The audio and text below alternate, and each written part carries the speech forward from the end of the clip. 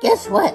You know what I got this mask on for? Because we're going to be a little cooking in the kitchen and I'm not going to, I don't want to spit in the food. So I've got Harvey here. He's my sidekick, my sous chef for today. And we're going to get cooking as soon as I give you a special announcement. Well, I'm going to take this thing off because it was made for a kid and it's giving me a headache. But it doesn't matter if I spit in the food. Fred and I are the only ones that are going to eat it. Right, Fred? Yep. Okay, see you on the other side. Well, hey there out in Nettie land. It's Nettie here and it's, you know, Thursday before Easter and I've got a nice project for you. But before I do, I've got some bittersweet news to share with you. Well, I'm going to be leaving. Nettie's not going to be doing Nettie anymore. Not, at least not in the way I've been doing it. Because, well, the good news is that Oprah called. Oprah, she called and she said, I want you to come on the OWN channel and have a little show. I'm so excited. I mean, I'm so excited. So, you know what else? April Fools! well, it is April 1st. You know, you may not get it up on the webinet until tomorrow, but I had to do that. But you know, it's kind of been a dream of mine that I could move on to something else. But right now, this is where God has planted me and I'm going to grow and root and do all that kind of stuff. So what are we going to do? Well, I have an exciting thing to do and it's kind of for my grandkids too. So, you know, it's Nan and Daddy's here and it's kind of moments with Nan and Daddy, but it's also for adults. So I'll probably have to, well, you know, that's what the edit button's for. But I want to show you right now. Here's here's one thing I want to show you. I have a friend with me. Can you see him? Harvey's my friend. He's always with me. He kind of reminds me of Jesus because Jesus is always sitting beside me. And Harvey becomes kind of the reminder that if you could see Jesus, what would you be saying right now? I'm sure this isn't what it, yeah, well, you know, Harvey gets after me a lot. So let me just show you what Harvey's up to. Put my phone in a different mode so you can see Harvey. He's a little lazy. He should be helping me. He's been into the Easter chocolate again, just like last year. But he's sitting here reading his favorite books. There's the Runaway Bunny and the Rabbit's Adventure and the Velveteen Rabbit and the Egg Book and the Lively Little Rabbit and Bugs Bunny. he kind of likes that character. He gets a little mad when I steal the limelight from him, but you know, he's going to have to just sit there and be patient with me because now I'm going to do a little project. I wondered what we could do for Easter. And, and although today is um, Holy Thursday and tomorrow we have Good Friday and it's a somber time, I do like to, to remember that we already know what Easter means. And so, you know, Easter eggs and all that kind of stuff, the children love it. And hopefully we can kind of help them figure out that, you know, Easter isn't all about chocolate and Easter eggs. It's more a, about baked ham and potato salad. no, not really. You know, for, for us of faith, Easter is um, solemn and a rejoiceful time. But, you know, there are a lot of people in the world that celebrate Easter differently, and they look at it as a springtime and the renewal and new life. And, you know, the butterflies and the new chicks and the new bunnies and the egg, you know, all of that kind of represents my faith. And, and I love the idea that the whole world can, can chime in and celebrate springtime together. So we're going to do it in the way that I kind of like the best. Food. We're not going to do anything good for you either. So we're going to make, oh, where's my package? Has anybody seen this? Hot tamale, fierce cinnamon, peeps. I hate peeps normally. Let me get one of those little buggers over here. Hold the camera, Harvey. Well, you know what? I tasted one. I don't care for peeps too much and marshmallows too sugary, but then it's that flavoring. Hot tamale. It's pretty good. So we're gonna we're gonna use those to make hot tamale popcorn eggs. So we're gonna start with some popcorn. Now, I saw a recipe on YouTube that inspired me. And, whoops, I just spit a peep on me. Okay, so you're supposed to go to the movie theater and get the buttery popcorn. And then you're supposed to get a box of hot tamales and chop them up.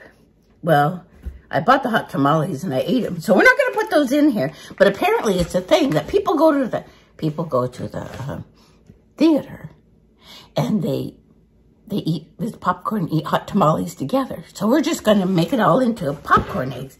So here we go. I'm going to pop the popcorn now. Oh, it's almost, it's almost ready. Okay, I think it's done. I think it's done. Stop, stop, pause. Get that bag out of there. Ooh, it's hot. Open this, get it put in here. Okay, so that's way too much popcorn, but it needed six cups, and there's only five cups in the bag of this. So I guess Fred and I are going to be watching the movie tonight. So let's get this all measured out.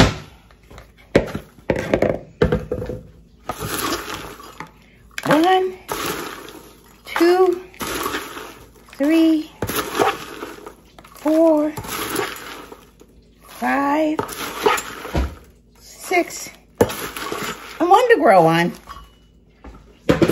Mmm, I love popcorn. Okay, next. Look at these little peeps. They're all waiting in line. And over here, we have the butter that's all melting and it's all ready for those peeps to just slide right in and take a little hot bath in butter. Well, I'm not going to show that because it's kind of sad, you know.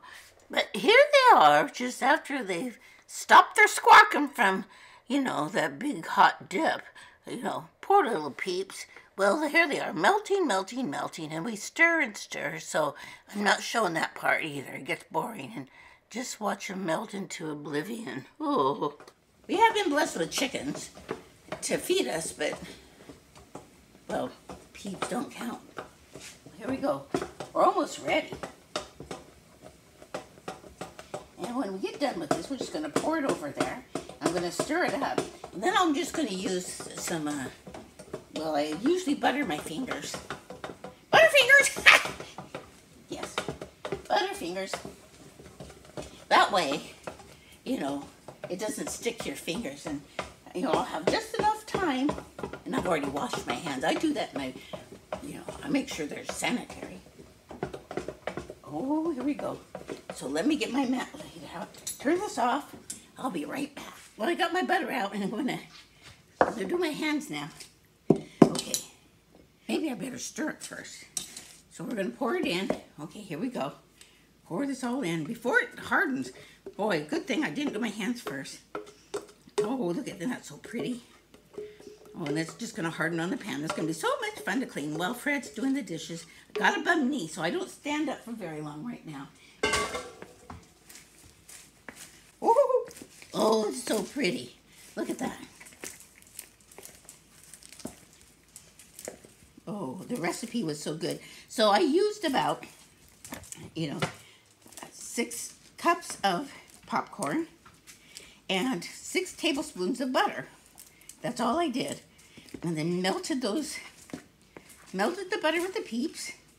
And now we're just pouring it over here. It's a simple, simple recipe. And, you know, a lot of times I just do this with regular marshmallows. And then what I do is put maybe M&M's in it. Oh, I love, we make, we make uh, birthday cakes out of popcorn. Okay, here we go. Now, this is going to be really easy. Where's my butter? Okay, Fred's going to see Fred's going to see fingerprints in here. So, that's okay. So now, we grab a bunch of this and we just form it into an Easter egg. Pure and simple. You know, the good thing about this is you don't have to make a perfect circle. There they go. I'm laying eggs. so, you know, trying to do something like this with your grandkids or your children could be so much fun because, you know, if you want to get them some little gloves to put on or something, that's okay. But really, the butter works really well.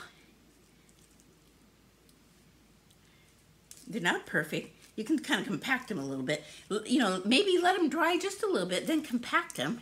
Like, whoop! The one I just did. Compact it a little bit. And so, You could call them, you know, for a birthday party, eh, they could be dinosaur eggs. You know how little kids just love to do dinosaurs. So just use your imagination and if you want to put little speckles in there of little, you know, miniature M&Ms or something to make the dinosaur speckled eggs or whatever. Circles, you can, you know, then of course press them into a pan. Now for the birthday cake, when I make this, I, I put M&Ms in it. Maybe I'll do that for you sometime. You just use regular marshmallows.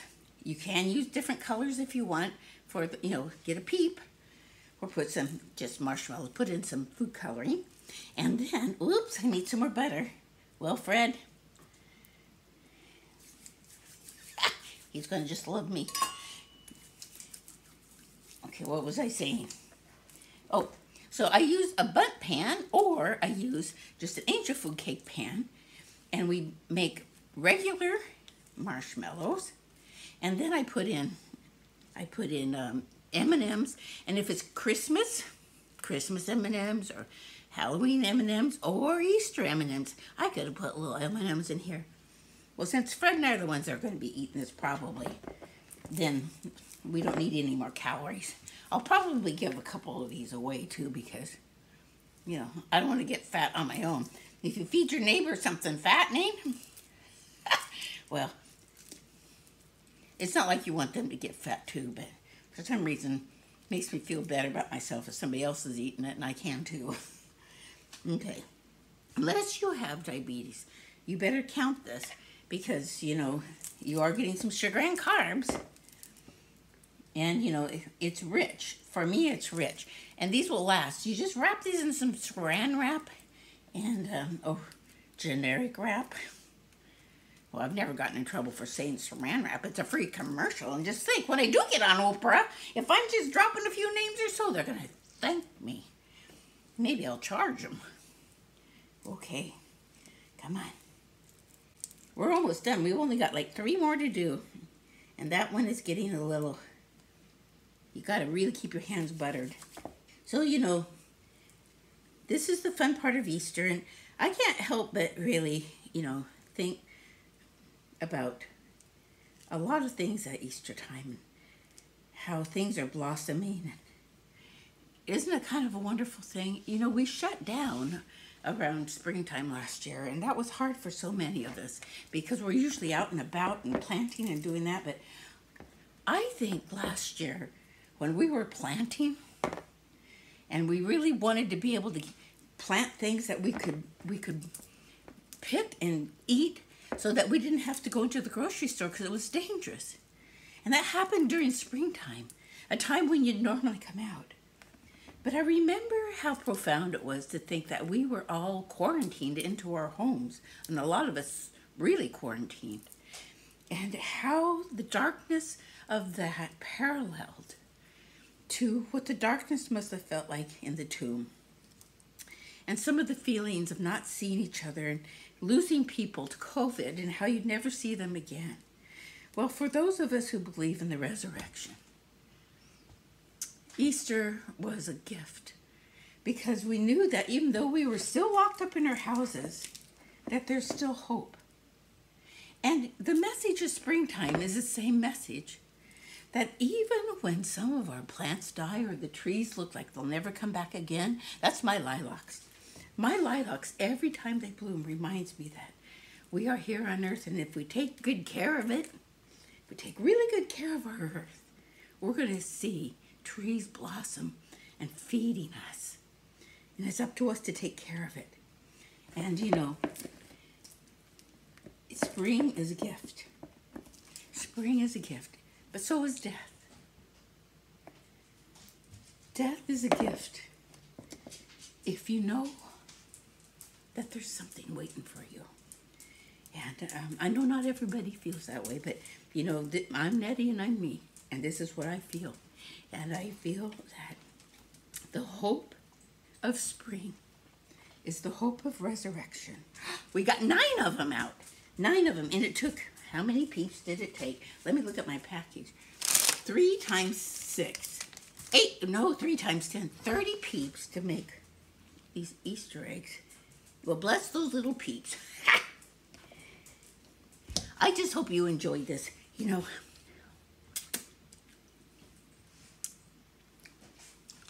I can't help but enjoy it. Well, should I taste test one? Okay. I'll do this little one.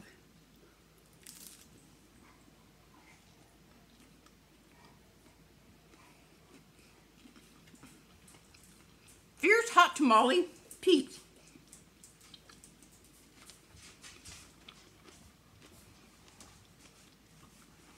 Mm.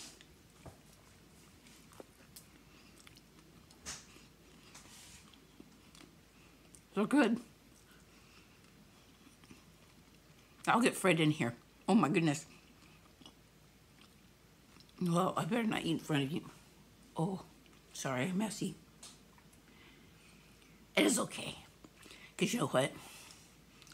Peeps make the world go round. I mean, they're here every holiday, right? Mm. Get yourself some peeps and get yourself some popcorn. Make a few little these dinosaur eggs and always remember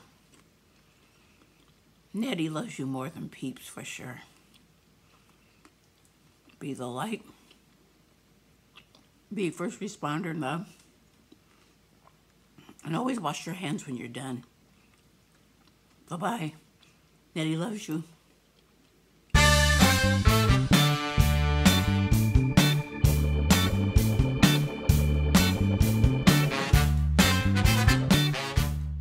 know, if you want to see more of these educational videos from Nettie, if you subscribe, then Nettie will be around for a long time.